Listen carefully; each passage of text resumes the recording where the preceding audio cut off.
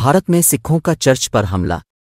सिखों की बड़ी तादाद ने अमृतसर जिला के राजीवाल गाँव में सिखपाल राणा मोनिस्ट्रीज चर्च पर हमला किया। चर्च में मौजूद इबादत गुजारों ने सिखों की दौड़ें लगवा दी। तफसीलात के मुताबिक, सिखों की बड़ी तादाद ने अमृतसर जिला के राजीवाल गाँव में सिखपाल राणा मोनिस्ट्रीज चर्च पर हमला किया। चर्च में मौजूद इबादत गुजारों ने सिखों को दौड़ें लगाने पर मजबूर कर दिया।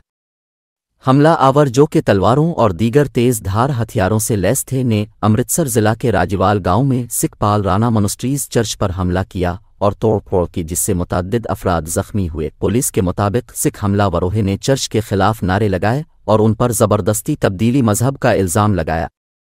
एनी शाहिदीन के मुताबिक हमला के वक्त चर्च में मसीही इबादत में मसरूफ़ थे। जब मसीही बरादरी के लोग चर्च से बाहर निकले तो मुलजमान मौका से फरार हो गए। फरार होते हुए उन्होंने चर्च के बाहर खड़ी गाड़ियों की भी तोड़फोड़ की। इस हमले के रद्द अमल में मसीही बरादरी ने जिंडियाला गुरु तरनतारन रोड पर दो घंटे तक ट्रैफ़िक रोक दी। नामालूम अफराद के खिलाफ मुकदमा दर्ज कर लिया गया है। अमृतसर देही एसएसपी सतेंद्र सिंह, एसपी जुगराज सिंह और करीबी थाने के पुलिस एहलकार फौरी तौर पर मौका पर पहुँच गए ताकि अमन अमान की सूरत हाल पर काबू पाया जा सके। एसएसपी सतेंद्र सिंह ने एक बयान में कहा कि इस मामले में एफआईआर दर्ज कर ली गई है और तहकीकात जारी है।